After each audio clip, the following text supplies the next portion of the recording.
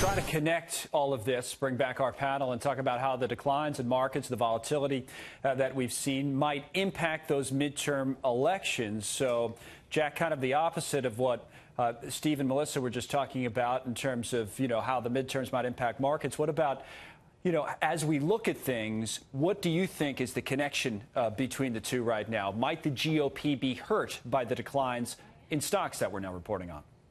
I think the average the average investor out there isn't sitting there like us minute by minute talking about hey, what's the latest GDP report? What right. went on? What went on during the you know third hour of trading today? The average person looks at their statement at the end of the month, and they feel pretty good about where the Not value of their month. accounts is, where the value of their house is. Maybe overall. They feel pretty good about the unemployment rate. So I think the average voter feels pretty good about the economy. That's the biggest thing going for uh, Republicans right now going into the election. Right. I was going to say this month, if they just looked at the monthly statement, I know you're talking about the overall statement, but this month is actually, and it's sometimes we overdo it, um, John, with these superlatives, but this is the worst month since October of 08.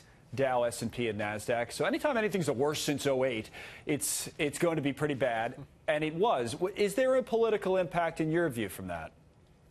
I think there's going to be a slight uh, political impact. I agree with my friend Jack on this that mm-hmm. market volatility overall is not going to affect the midterms. I think that the 3.7% uh, unemployment number affects that so much more when you say it's the lowest unemployment in 50 years. Okay. I think that affects more the average consumer out there. But I don't think the market volatility necessarily affects that because I think most people uh, out there are either not in the market or they're looking at what the market has done since the president. And John, real quick to you on this. Uh, what about the, the reverse that Steve Forbes was just mentioning? There's been some controversy about that this week. The Larry Kudlow comments and what have you, whether or not the trading that we're seeing is related to the midterms as opposed to the effect the opposite way that we've been talking about, John.